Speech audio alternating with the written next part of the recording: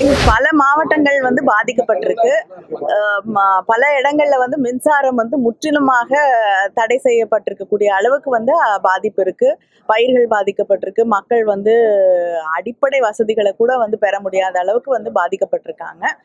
அரசாங்கம் வந்து தளபதி சொல்லியிருக்கிறது போல போ- போர்க்கால ந- அடிப்படையில வந்து அவங்க வந்து நடவடிக்கைகள் எடுக்கணும் மக்களுடைய பிரச்சனைகளை தீர்ப்பதற்காக. அதை தாண்டி வந்து இப்ப டெங்கு போல முதல்லயே வந்து பல பிரச்சனைகள் தமிழ்நாடு எங்கும் இருக்கு.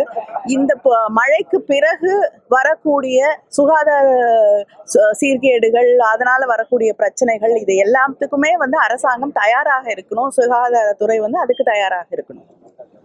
தமிழக அரசு சரியான நடவடிக்கை எடுத்திருக்கா? கஜா புயல் இந்த தா இருக்கக்கூடிய ஆட்சி வந்து எதுக்காவது சரியான நடவடிக்கை எடுத்திருக்காங்களா? எங்க சமீபத்துல வந்து தர்மபுரியில நடந்த சம்பவத்துல கூட வந்து காவல்துறையே வந்து அது மூடி மறைக்கிறதுக்கு காரணமாக இருந்திருக்கு. ஆனா அவங்க மேல இது வரைக்கும் எந்த நடவடிக்கையும் எடுக்கவே இல்லை.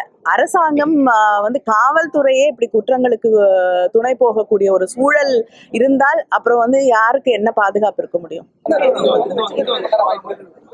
ஜனநாயக முறையில தெளிவு நல் தேர்தல் வந்தால் நிச்சயமாக திமுக மிகப்பெரிய வெற்றியை பெறும். மக்கள் வந்து இந்த ஆட்சி எப்படி போகணுங்கிறதுக்காக தான் எதிர்பார்த்து கொண்டிருக்கிறார்கள்.